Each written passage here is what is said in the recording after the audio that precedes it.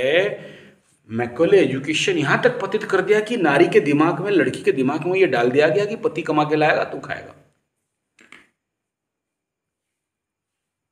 क्यों?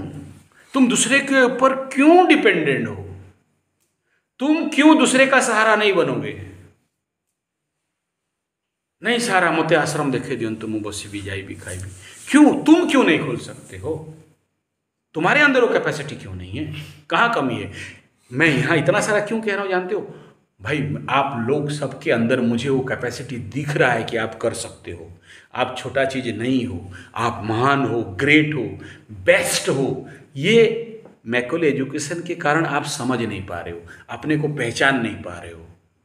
अगर आप बेस्ट नहीं होते तो मेरे लाइफ में ये कैंप इतना बेस्ट हुआ है, बाकी सारा कैंप बेस्ट नहीं हुआ। हरिया पूछ लो, हर कैंप में कुछ ना कुछ डिस्टर्बेंस यहाँ तो मुझे एक भी कंप्लेन सामने नहीं आया है। वो एक थोड़ा आया उसके साथ कुछ कुछ हुआ, लेकिन वो कोई मतलब का नहीं था।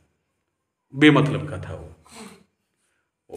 उस दिन जो थोड़ा सा मैं बाद में रिकॉर्डिंग सुना तो हाँ वो कोई मतलब का नहीं था। वो तो आधिकारिक अभिमान था। वो कोई टेंशन में काउंट नहीं हो।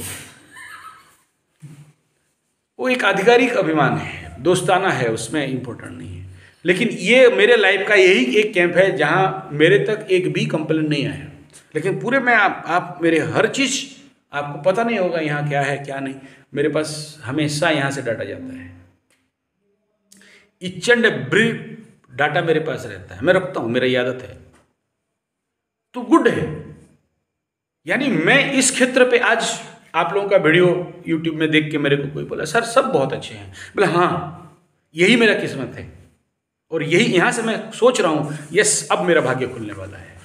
क्योंकि अब तक बहुत सारे गंदा कचड़ा लोग आए। लेकिन I am not worried about them कर्मयोग का प्रिंसिपल ही यही है। विपरीत राजयोग जो तुम, तुम्हारा जो विपरीत राजयोग है। दुख पाओगे, डंडा खाओगे, कष्ट में आओगे प्रॉब्लम में पड़ोगे, तब भाग्य खुलेगा। तब विपरीत विपरीत राजयोग जगेगा। ध्वंस प्रलय बर्बाद होगा, विपरीत राजयोग जगेगा। लाइफ में जब तक समस्या नहीं आया, नहीं खुलेगा। एक कर्म काटो, वो काम कोई काम का नहीं। अभी देखो, ये शिविर हुआ, मैं दिल, वहाँ दो हज़ार का तेल जला के गया, आया तो संबड़ी से, अरे यार, बेकार है। मतलब हाँ सही बात है। आप, आपका दृष्टि एकदम ठीक, बेकार। लेकिन मेरा दृष्टि अलग है।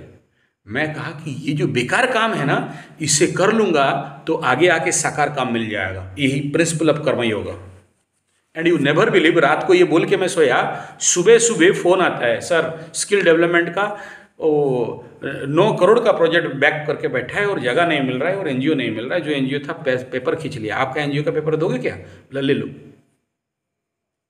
ले लो कोई बात नहीं। बट मेरे को मैं एक ही जगह में जगूँगा पेपर अपडेट होना चाहिए। तुम कितना खाना है खा लो बदनामी मेरे पास नहीं आना चाहिए।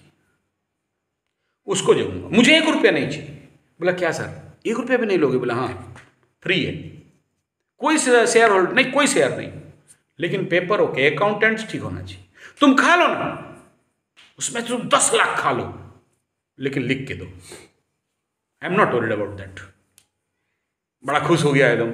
दौड़, अभी अभी बैठो अभी सर। अभी नहीं। शिविर खत्म होने दो। दिस इज़ विपरीत राजयोग। एक कैंप किया जिसको कि सब बोले बेकार। मैं बोला, ये मेरा बेकार कर्म कट गया, अब आगे पेमेंट आएगा, देखो। ये कैब नहीं किया होता तो आता क्या? इसी को बोलते हैं माया छदमावरण। तुम्हारा भाग्य छद्म रूप में बैठा है, तुम उसमें नहीं खोलोगे तो नहीं मिलेगा। तुम बोलोगे, मेरा बाप ऐसा कंडीशन वो बोलेगा, मेरा सोर्स ऑफ़ इनकम ऐसा है, वो लड़की बोलेगी, मैं सिलाई दुकान में घड़ो घड़ो कर रही हूँ, मेरा भाग्य, ठीक। क्योंकि तुम एक कर्म करके नहीं काटे हो तो दूसरा कर्म नहीं आ पा रहा है। समझो क्या बोल रहा हूँ? एक ट्रेन बीच में रुका हुआ है, कहा? पटरी में। तो पीछे वाला सुपरफास्ट नहीं क्रॉस कर रहा है। वो बेचारा वहाँ ट्रैफ़िक में फंसा हुआ है। इसे क्रॉस कराओ ना, वो आएगा, गाय करके। खुलेगा एकदम भाट भाट करके खुलेगा तुम्हारा भाग्य।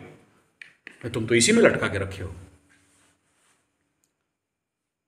तुम्हें अगर दिख रहा है कि, सर तुम्हें अगर दिख रहा है तुम यही बोल रही थी ना? ये मुँह कौन करी भी बुझी पारू नहीं। बोल रही थी कि नहीं? ज़ोर से बोल। अरे कल बोल रही थी ना मुँह बुझी पारू नहीं। बोल रही थी ना?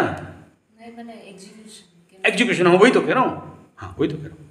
समझ नहीं द्वंद्व में हूँ डिस्टर्ब में हूँ कि पहले से नॉलेज नहीं है ना पहले से में हाँ। कृषि के ऊपर नहीं है। किसी भी ऊपर नहीं हाँ। आयुर्वेद किसी के ऊपर नहीं नहीं है। है। मेरे पास ज्ञान नहीं है तो मैं लोगों को लेके कैसे नहीं नहीं तेरे पास बहुत ज्ञान है। यही सुन यही तो कहना चाहता हूँ। तू ज्ञान स्वरूपा है तेरे अंदर है। मैं नहीं कह रहा हूँ दस चीज़ आके मेरे से सीखो मैं बहुत ज्ञानी। मैं कह रहा हूँ तुम्हारे पास जो है उसे यूटिलाइज करो। क्या कह रहा हूँ समझो पहले। मैं नहीं कह रहा हूँ फिर अभी एम ए पढ़ लिया और फिर आ गया मेरे पास सीखने। नो मैं इसलिए सब कुछ खुल के दे रहा हूँ। लो और काम चालू करो। एक बात बता तू जिस एरिया में काम कर रही हो वहाँ पर सौ किसानों को जोड़ने के लिए तुमको कोई ट्रेनिंग लेना ज़रूरत है। सौ किसान क्या प्रोडक्ट कर रहे हैं और उनको क्या बाय प्रोडक्ट देना है यूट्यूब में नहीं मिल जाएगा। बुलाओ ना सो तुमको किसी एरिया में टमाटो है सॉस बनाना है मैं टीचर भेजता हूँ। कुछ कोऑर्डिनेशन करना है ना दिमाग के लिए कोऑर्डिनेट करना।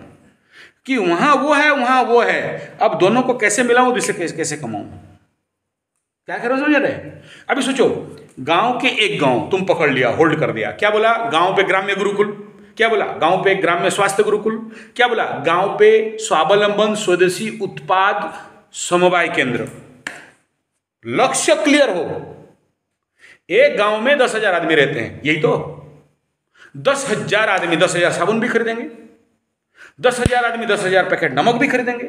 दस हज़ार आदमी हैं तो उनका दस हज़ार बीबी भी होंगे तो दस हज़ार साड़ी भी पहनेंगे। दस हज़ार हैं तो दस हज़ार। तेल भी लगाएँगे। तो तुम्हारे पास तो ऑलरेडी मार्केट है दस हज़ार का। तुम उन्हें यूनिटाइज नहीं किए हो। कोऑर्डिनेट वो जो प्रोडक्ट्स हम बनाएँगे या कुछ करेंगे। भाड़ में जा बाद में बनाओगे। पहले देखो कि कौन बना रहा है। अभी हरिया के पास गोबर कंडा रेडी है गोबर के पास खाद रेडी है गोबर हरिया के पास धान रेडी है ऑर्गेनिक हरिया जो मेरे से निकला है तो लेके अपना ज़मीन पे पंद्रह एकड़ में तो यूरिया नहीं फेंकेगा ना? जब इतने गाय रखा है तो गोबर क्या चाटेगा? और ज़मीन पे यूरिया फेंकेगा? तुम देख के आया ना? तो तुम्हें तो एक टारगेट मिल गया तो ऐसे ऐसे मैं सौ आदमी तुमसे मिलाता हूँ। अब ये सोचना है कि उसका रेड रेड राइस करके कैसे बेचेंगे? वो कोऑर्डिनेट करो। तुम मत करो। तुम्हारे पास टाइम नहीं है। तुम काला अंग्रेज़ से पढ़ के निकले हो, अभी तुमको बोलेंगे, कुआँ खुद खुद पाएगी क्या? नहीं ना? कोऑर्डिनेट कर दो ना। और उसके लिए घर छोड़ के गाँव गाँव जाना पड़ेगा। क्या हो जाएगा ज़्यादा से ज़्यादा तुम्हारे साथ? क्या गलत हो? रहे हैं ऐसे कुछ भी नहीं। हाँ तो फिर निकल जाओगे जा रहे हो। भिड़ लो। अगर तुम मैं यही कह रहा हूँ ना एक हज़ार साबुन एक हज़ार साड़ी मिनिमम कह रहा हूँ सॉरी टेन थाउज़ेंड एक गाँव को एक बात बता गाँव वाले एक साड़ी कितना में खरीदते हैं? कौन गाँव वाला है? ढाई सौ तीन सौ। में? गुजरात से अगर तुम साड़ी ऑर्डर करते हो तो सौ रुपया में दे सकते हो कि नहीं? सेम साड़ी। हैं? बड़ा बाज़ार में आपको मिल जाएगा। तुम्हारा बड़ा बाज़ार में मिल जाएगा। सेम साड़ी। वही तो ला के यहाँ डबल रेट में कपड़ा बिज़नेस करते हैं ना। नमक तुम अगर पुरी में जाते हो या आसपास जहाँ नमक मारा जाता है नमक किलो क्या रेट है ऑन साइट तीन रुपया किलो। बाज़ार में कितना में मिलता है? दस से बीस रुपया पंद्रह रुपया। ट्रांसपोर्ट जोड़ दो हर एक हर एक रुपये में एक किलो। अरे चल समुद्र नमक का बात कर रहा हूँ। अरे वही समुद्र नमक मैं खुद पंद्रह रुपये में खरीदा हूँ समुद्र नमक बड़ा नमक। तुम अगर उसको कन्वर्ट करते हो और तुम जो चिल्ला रहे हो आयोडीन नमक दूर रखो, काला सफ़ेद नमक दूर रखो और ये नमक और काला नमक का भी सेल करते हो तो तुम दस हज़ार किलो, दस हज़ार फैमिली को तो दे दोगे। एक रुपया भी बेच दिया, एक रुपया का भी बेनिफिट रखते हो तो गाँव वाले तुमसे लेंगे कि दुकान से लेंगे? बता। उनको गाँव में पंद्रह रुपया, बीस रुपया मिलता है। तुम दस रुपया में दोगे, किससे खरीदेंगे? नहीं, बोलोगे, सर, मेरे पास इन्वेस्टमेंट मनी नहीं है। बढ़िया, समवाय समिति बनाओ।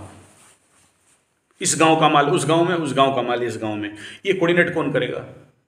अगर तुम ग्राम्य गुरुकुल बात करते हो, ग्राम्य स्वास्थ्य गुरुकुल का बात करते हो, ग्राम्य स्वदेशी स्वावलंबन गुरुकुल का बात करते हो तो स्वावलंबन स्वदेशी उत्पाद कौन मेरा बाप बनाएगा जाके? तो वो जो समवाय समिति बनाना है नो मनी बिज़नेस